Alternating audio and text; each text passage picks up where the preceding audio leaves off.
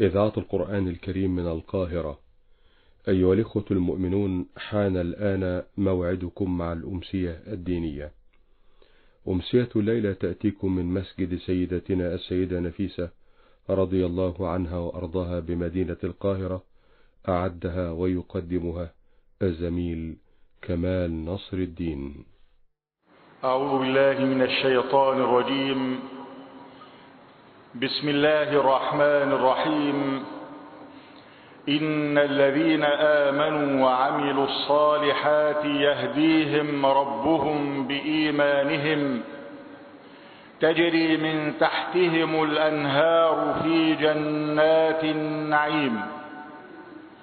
دعواهم فيها سبحانك اللهم وتحيتهم فيها سلام. وآخر دعواهم أن الحمد لله رب العالمين. صدق الله العظيم. أيها الإخوة المؤمنون السلام عليكم ورحمة الله وبركاته. وأهلا ومرحبا بكم جميعا إلى فقرات هذه الأمسية الدينية التي نقدمها لكم من رحاب مسجد سيدتنا السيدة نفيسة رضي الله عنها وأرضاها عبر موجات إذاعة القرآن الكريم من القاهرة.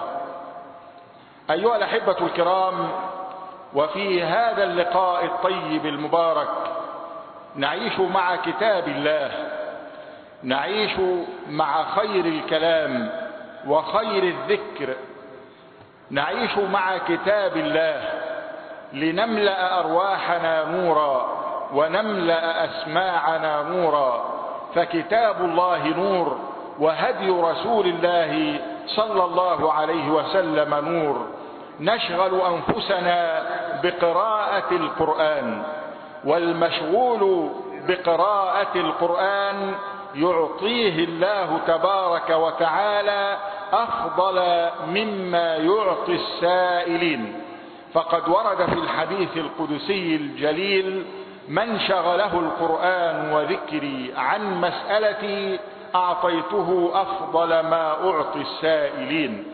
ويقول النبي صلى الله عليه وسلم في فضل تلاوة القرآن الكريم والاستماع إلى القرآن الكريم من استمع إلى آية من كتاب الله كتبت له حسنة مضاعفة ومن تلاها كانت له نورا يوم القيامة.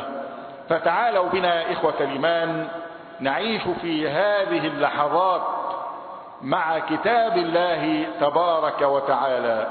الآن نستمع إلى هذه التلاوة القرآنية المباركة يتلوها علينا القارئ الشيخ عبد الفتاح الطاروطي أعوذ بالله من الشيطان الرجيم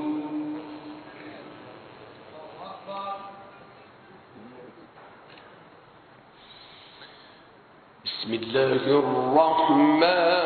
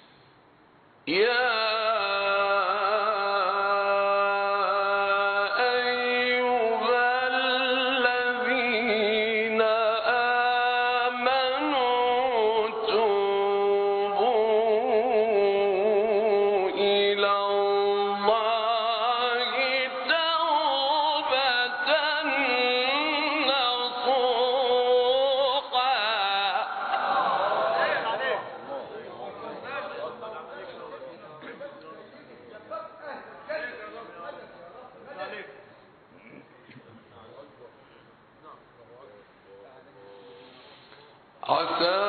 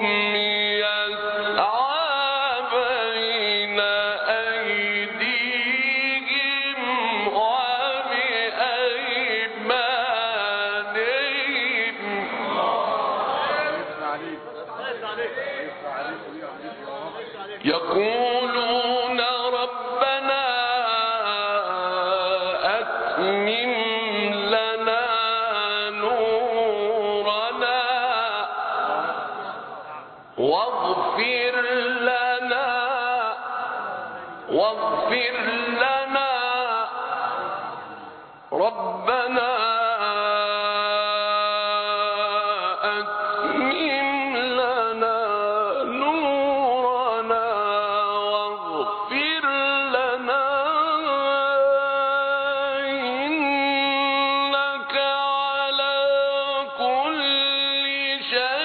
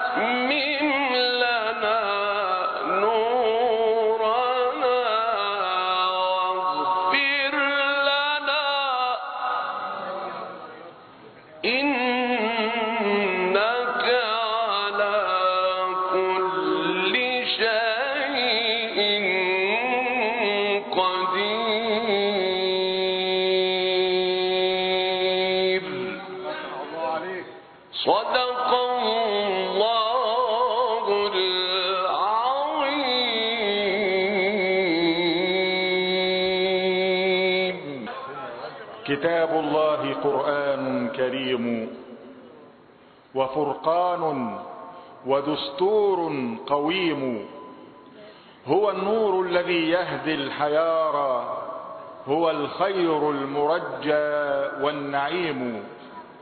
به عز الأوائل كل عز وتوج ملكهم مجد عظيم. اللهم انفعنا وارفعنا بالقرآن العظيم واهدنا بالآيات والذكر الحكيم. وتقبل منا إنك أنت السميع العليم. هكذا أيها الأحبة الكرام عشنا في رحاب هذه التلاوة القرآنية المباركة تلاها علينا القارئ الشيخ عبد الفتاح الطاروطي هنا في رحاب مسجد السيدة نفيسة رضي الله عنها وأرضاها حيث ننقل لكم فقرات هذه الأمسية الدينية. أيها الأحبة الكرام العلماء ورثة الأنبياء. والأنبياء لم يورثوا دينارا ولا درهما ولكن ورثوا أفضل ما يتزود به المسلم في هذه الحياة وهو العلم. فبالعلم نعرف الحلال من الحرام وبالعلم نرتقي في الدرجات. يرفع الله الذين آمنوا منكم والذين أوتوا العلم درجات. تعالوا بنا إخوة الإيمان نعيش في روضة العلم مع واحد من السادة العلماء الأجلاء. الذين يطيب لنا دائما أن نستمع إليهم وأن نتزود من علمهم وفضلهم. نستمع الآن إلى هذه الكلمة التي يلقيها فضيلة الدكتور على الله الجمال إمام وخطيب المسجد. بسم الله الرحمن الرحيم. الحمد لله رب العالمين والصلاة والسلام على أشرف المرسلين سيدنا محمد وعلى آل بيته وصحابته الطيبين الطاهرين وبعد. ورضي اللهم عن سيدتنا صاحبة هذا المقام وعلى جدها أفضل الصلاة والسلام. فإن الله عز وجل أنزل هذه الشريعة وقال عنها ما جعل عليكم في الدين من حرج. وقال يريد الله بكم اليسر ولا يريد بكم العسر. وهذه الشريعة التي أنزلها الله متمثلة في الكتاب والسنة إنما تقوم على مصالح العباد. إنما تقوم على منافع العباد. فالله ما أرسل الأنبياء والرسل ولا أنزل الكتب السماوية إلا من أجلك أنت أيها الإنسان. وخلق لك الجنة وأعد لك القيامة ونصب لك الميزان والحساب والصراط. كل هذا من أجلك فهذه الشريعة الغراء إنما تقوم على مصالح العباد. حتى إن ابن القيم قال الشريعة مصالح كلها عدل كلها حكمة كلها.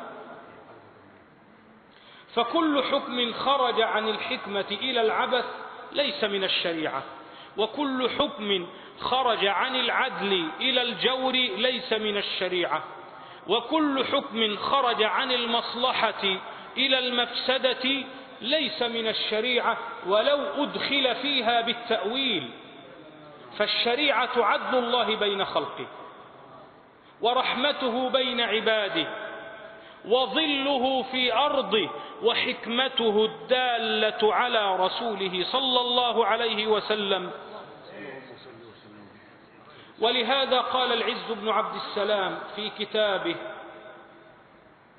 قواعد الأحكام في مصالح الأنام لا يقدم الصالح على الأصلح إلا جاهل بالأصلح. كهذا الذي اختار الفضة على الذهب.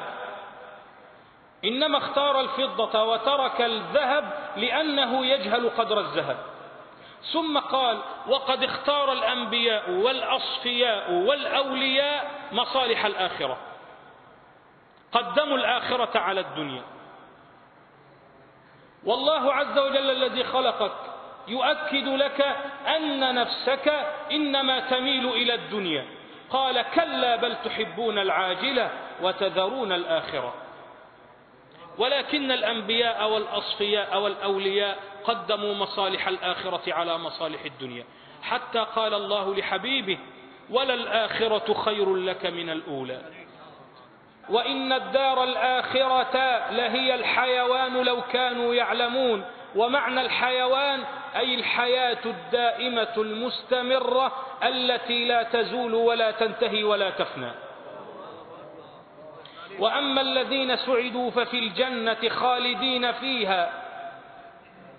ما دامت السماوات والأرض إلا ما شاء ربك عطاء غير مجذوذ غير منقطع لا يزول ولا ينتهي. ثم قال الإمام العز في كتابه واللذات في حق الناس متفاوتة. فالصلاة قد تكون شاقة على البعض. وقد تكون محببة إلى البعض. ففي حق رسول الله كانت الصلاة أسعد الأشياء. كان يفرح بها. وكان يقول أرحنا بها يا بلال. وكان يقول وجعلت قرة عيني في الصلاة. أسعد شيء في حياتي أفرح به أن أقوم بين يدي الله عز وجل في صلاتي قال اللذات متفاوتة في حق الناس.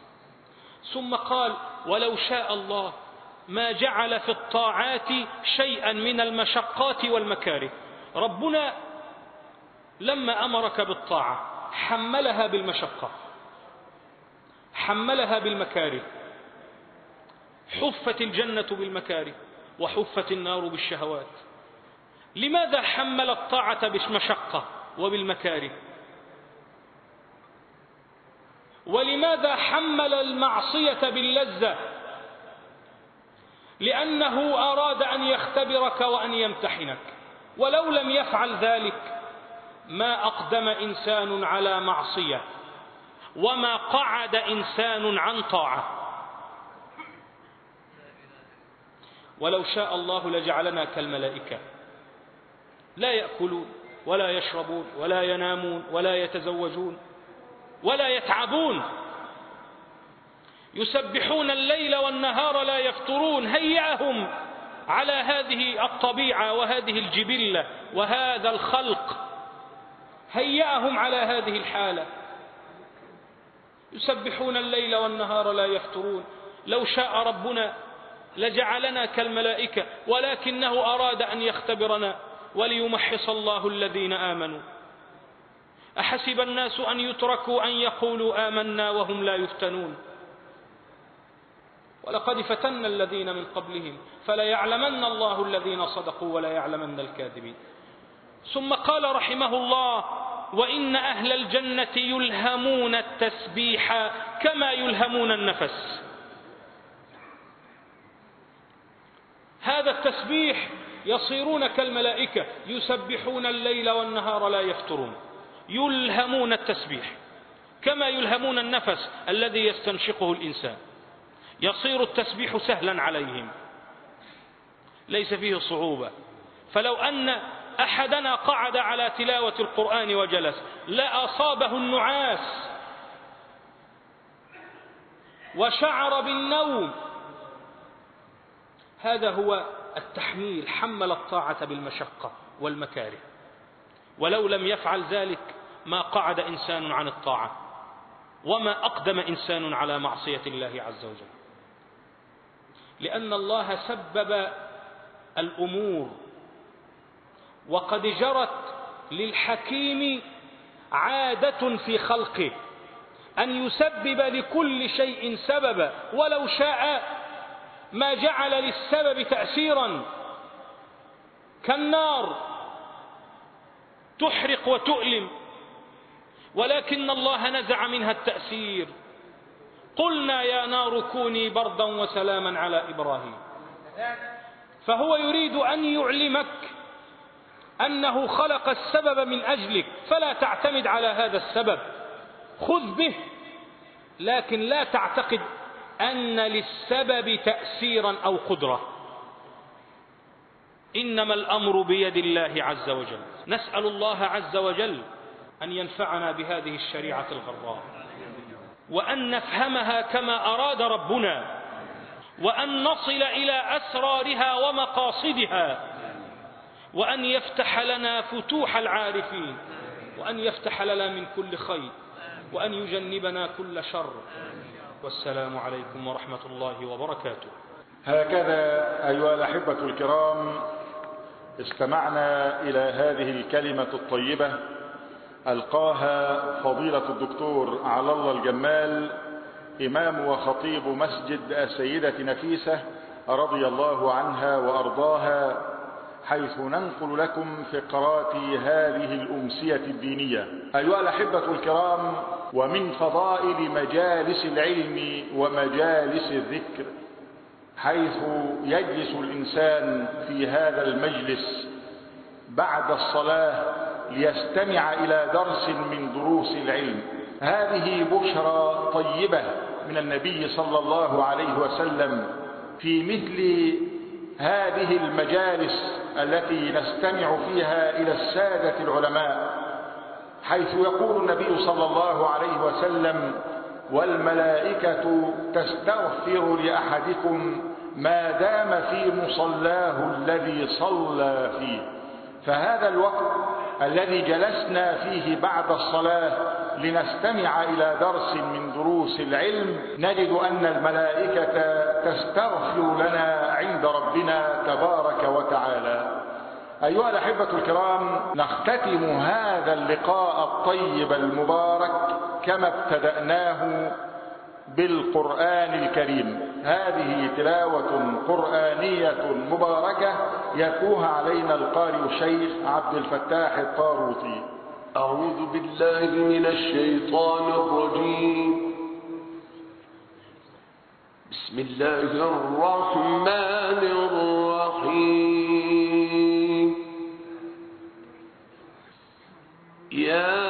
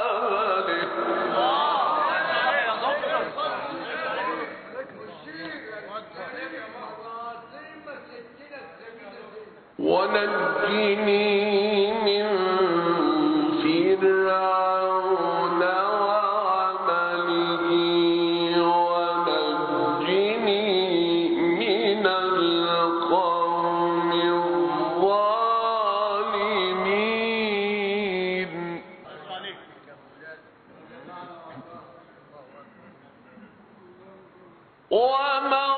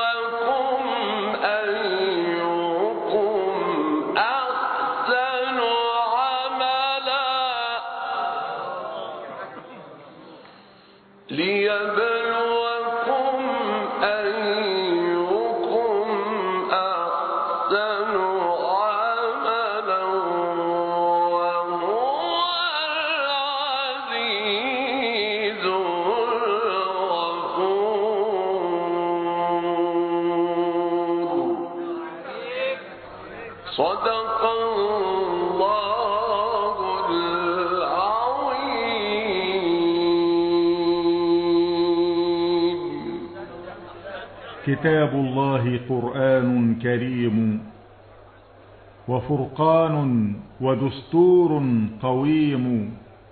هو النور الذي يهدي الحيارى هو الخير المرجى والنعيم.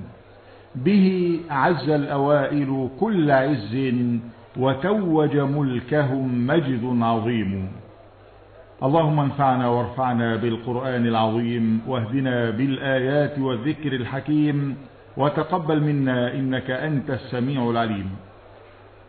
هكذا إخوة الإسلام والإيمان بهذه التلاوة القرآنية المباركة التي تلاها علينا القارئ الشيخ عبد الفتاح الطاروطي نأتي إلى ختام هذه الأمسية الدينية. قدمناها لحضراتكم من رحاب مسجد السيدة نفيسة رضي الله عنها وأرضاها بالقاهرة. في الختام تقبلوا تحيات زميل محمد عبد الكريم من الهندسة الإذاعية وتحيات كمال نصر الدين من أسرة المذيعين ونلقاكم دائما على خير والسلام عليكم ورحمة الله وبركاته.